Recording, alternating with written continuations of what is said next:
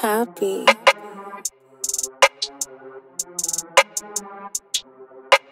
Anita, don't give me a mirror.